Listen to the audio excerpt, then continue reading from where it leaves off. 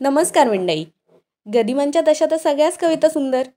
आज मी जी वाचते त्यात त्यांनी नदीच्या माहेराविषयी सांगितलं. आहे आणि ते सांगता सांगता पावसाळा कसा येतो याचं अगदी प्रेमळ वर्णनही त्यात त्यांनी केलं आहे तर कवितेचे नाव आहे नदी सागरा मिळता. नदी सागरा मिळता पुन्हा येईना बाहेर. अशी शहाण्यांची म्हण नाही नदीला माहेर. काय सांगू रे बापा रे तुम्ही आंधळ्यांचे चेले. नदी माहेराशी जाते म्हणूनची जग चाले.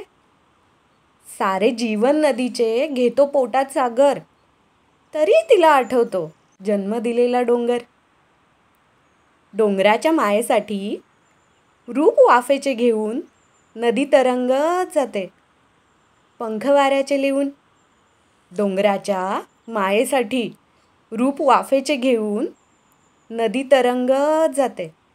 पंख वाऱ्याचे लिहून पुन्हा होऊन लेकरू नदी वाजवते वाळा. पुन्हा होऊन लेकरू नदी वाजवते वाळा. पाना फुटतो डोंगरा तेव्हा येतो पावसाळा.